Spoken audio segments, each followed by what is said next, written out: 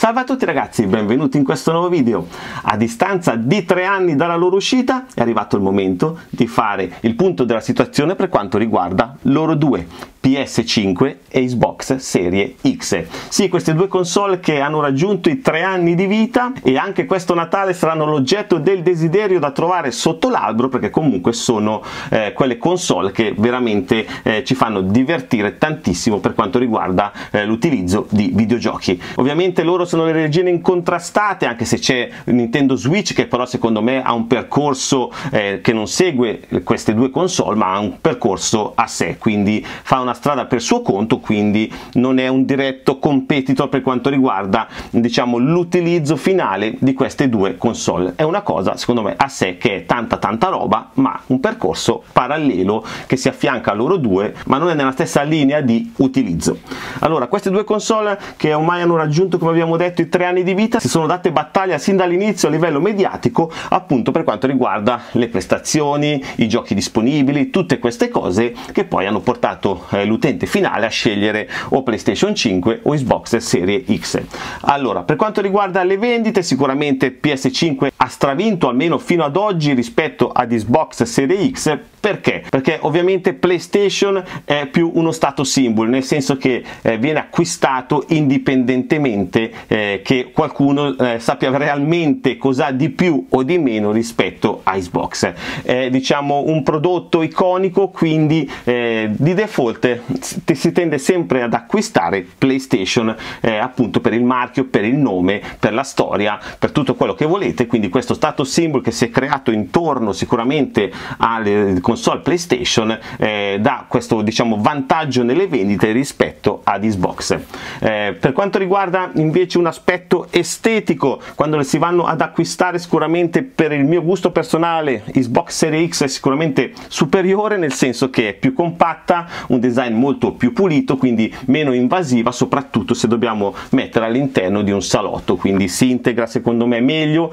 ed è meno appariscente. Eh, PS5 è più ingombrante, eh, ha questa forma molto diciamo appariscente quindi dal punto di vista estetico io preferisco assolutamente Xbox entrambe si possono mettere in posizione verticale o orizzontale però sicuramente qua abbiamo qualcosa di molto più compatto e meno invasivo soprattutto per gli occhi e per lo spazio che andiamo ad occupare. Poi come tutti sanno è uscita anche la versione slim della PlayStation che dal punto di vista hardware rimane praticamente identico quindi né più né meno performante. Aumenta di 200 200 GB l'hard disk praticamente raggiunge quello di Xbox che era da 1 TB mentre loro nella versione questa quella diciamo standard era da 800 GB adesso diventa da 1 TB nella versione slim quindi si portano a pari eh, di Xbox per quanto riguarda le dimensioni dell'hard disk. Però dal punto di vista puramente hardware delle prestazioni rimane eh, uguale a questa versione. Cambia solo un po' più compatta un po' più snella un pochino più leggera. Per quanto riguarda le prestazioni sono sempre state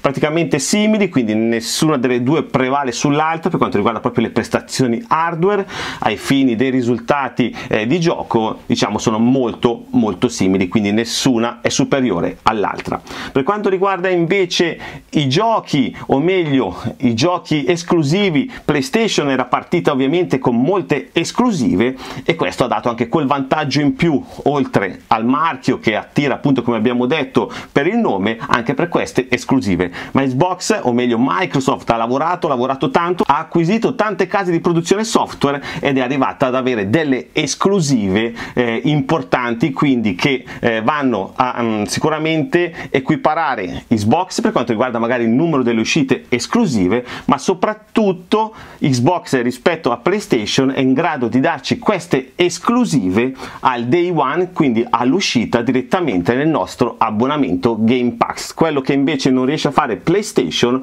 con il suo PlayStation Plus. Ma questo non accade solo con i giochi prodotti dalle software house del gruppo Xbox, ma accade anche con altre case di produzione, quindi è in grado di darci giochi alla uscita. Per esempio nel mese di ottobre dove veramente eh, Xbox ci ha dato il mondo nel Game Pass, ci ha dato anche l'Eyes of P, questo gioco uscito subito al day one, non prodotto da Xbox, ma già disponibile nel Game Pass gratuitamente.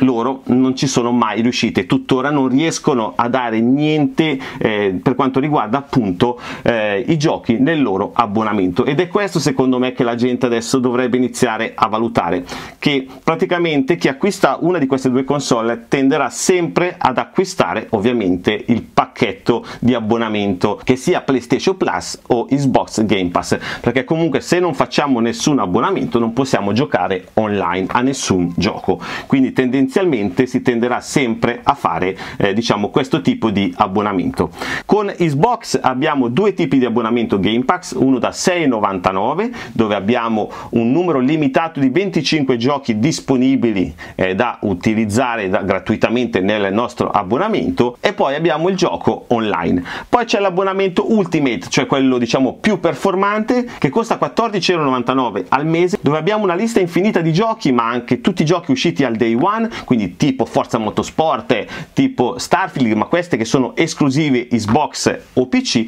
ma anche al, diciamo, all'uscita direttamente al day one abbiamo avuto l'Eyes of P, abbiamo avuto Payday 3, cioè ce ne sono stati tantissimi giochi, adesso non ve li sto a elencare tutti, che sono arrivati disponibili gratuitamente da scaricare avendo questo abbonamento, quindi li avremo sempre disponibili nella nostra console una volta scaricati finché ovviamente continueremo a pagare il nostro abbonamento. Quindi se voi calcolate 14,99 euro 99 per 12 mesi fa circa 180 euro e eh, con il costo attuale dei videogiochi soprattutto all'uscita che sono giochi comunque che costano dai 60 ai 70 euro poi dipende dal gioco abbiamo ammortizzato i 180 euro già con tre giochi. Cioè con i tre giochi che andremo a scaricare gratuitamente disponibili all'uscita abbiamo già ammortizzato il costo eh, di quello che è l'abbonamento. E non sono giochi che dici ok vabbè sono giochi che però io non avrei comprato. No ci sono assolutamente giochi che chiunque avrebbe comprato. Perché poi nel pacchetto Ultimate abbiamo anche i giochi EA Sport quindi eh, abbiamo disponibile che ne so FIFA 23 gratuitamente Dirt Rally 2.0 The Space Remake anche questo un gioco bellissimo uscito appunto eh, qualche settimana fa direttamente sul Game Pass per chi aveva l'abbonamento eh, Ultimate con EA Sport incluso appunto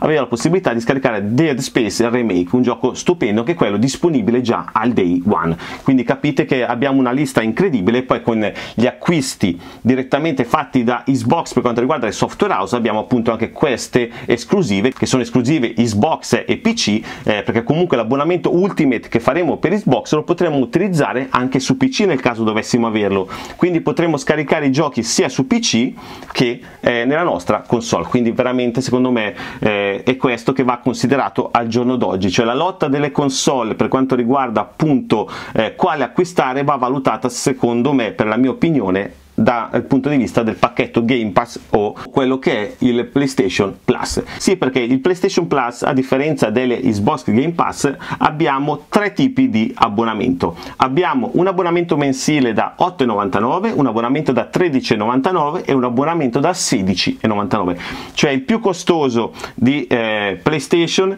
è da 16,99, cioè 2 euro in più rispetto a quello di Xbox Game Pass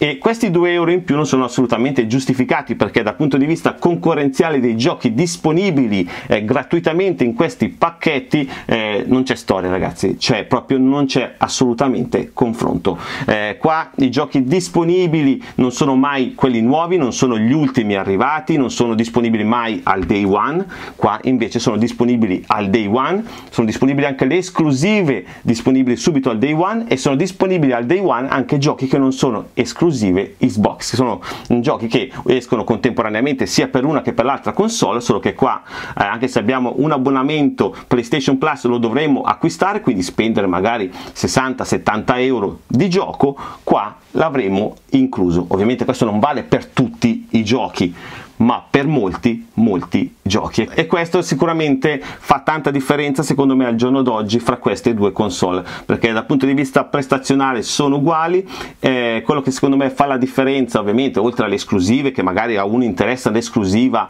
eh, di PlayStation però l'esclusiva può essere un, un, gioco che interessa magari l'altro gioco esclusivo non interessa per esempio. Eh, da questa parte invece abbiamo le esclusive che anche in questo caso potrebbero interessare o meno magari una sì l'altra no ma le abbiamo incluse nel Game Pass quindi non le dobbiamo acquistare. Quindi le possiamo provare anche quelle che non ci interessano paradossalmente per poi scoprire che ci sarebbero interessate. Quindi poterle utilizzare tranquillamente eh, senza nessunissimo problema. Quindi è una valutazione che secondo me va fatta al giorno d'oggi e va fatta assolutamente prima di scegliere quale console acquistare. Perché poi le due console dal punto di vista economico bene o male si equivalgono dipende dall'offerta del momento. Vi lascio qua sotto un po' di link se volete dargli un'occhiata perché comunque poi in base al bundle che vengono date nel senso che magari Xbox con dentro Forza Horizon o Call of Duty eh, PlayStation con dentro magari Spider-Man 2 cioè eh, dipende poi dal bundle ma console pure eh, forse Xbox costa un pochino meno ma poi dipende anche quello dall'offerta del momento che eh, riuscite a trovare.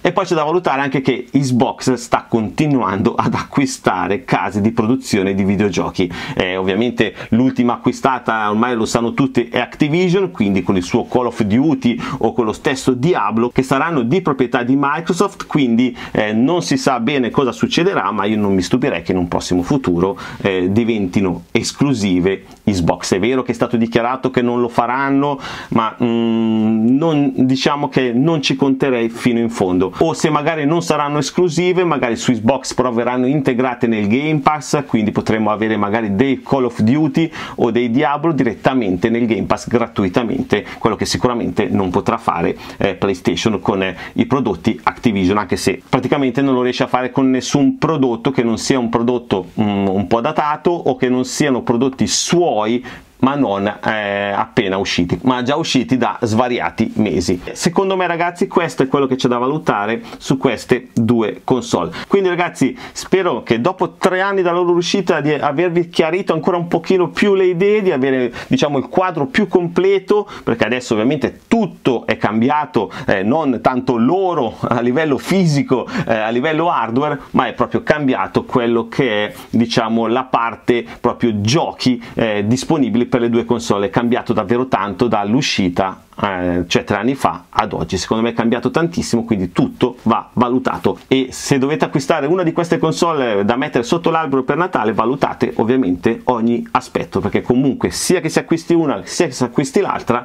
eh, bisogna comunque tirare fuori dei bei soldini. E se questo è il mio video in cui vi ho portato le mie considerazioni personali che non devono per forza combaciare con le vostre sono idee personali vi aspetto qua sotto nei commenti per sentire la vostra opinione riguardante PS5 e Xbox Series Serie X dopo tre anni dalla loro uscita vi è piaciuto, l'avete trovato utile ed interessante lasciatemi un grosso pollice su seguitemi su Instagram dove porto tante novità e spoiler dei prodotti che arriveranno qua sul canale. Sempre se vi va ragazzi iscrivetevi al mio canale Telegram offerte per sostenere questo canale dove posto tantissimi coupon sconto riguardante tutta la tecnologia in generale. Ma soprattutto ragazzi iscrivetevi a questo canale YouTube per non perdervi neanche un video, un volo, una recensione, un test, un tutorial o una novità. Ciao e al prossimo video